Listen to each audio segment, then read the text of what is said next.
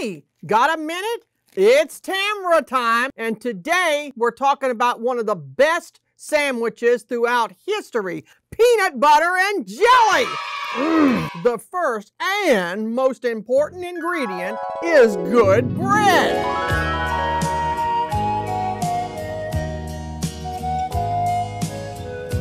Sailors at sea were served ship's biscuits, also known as hardtack. Hardtack was notoriously known for harboring weevils and maggots, but the soldiers would consider the bugs an added source of protein.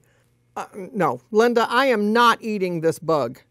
You're getting paid. It's just one worm. I am not eating this. You eat it. If you want this bug eaten, you eat it. Ugh.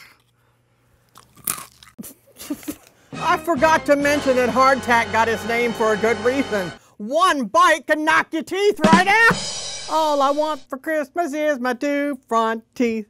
You can thank the popularity of peanut butter and jelly sandwiches on soldiers in World War I. George, our soldiers need flavor. Many of them started taking the bread ration, the peanut butter spread, and the Concord grape jelly and adding them together to stretch their rations. Peanut butter and jelly sandwiches are the greatest thing since sliced bread.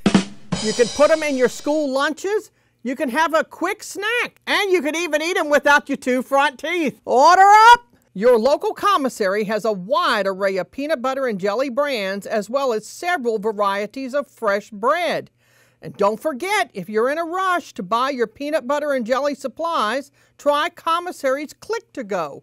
It's fast and easy. Until next time, it's Tamara time, your commissary history lady. See you at the commissary.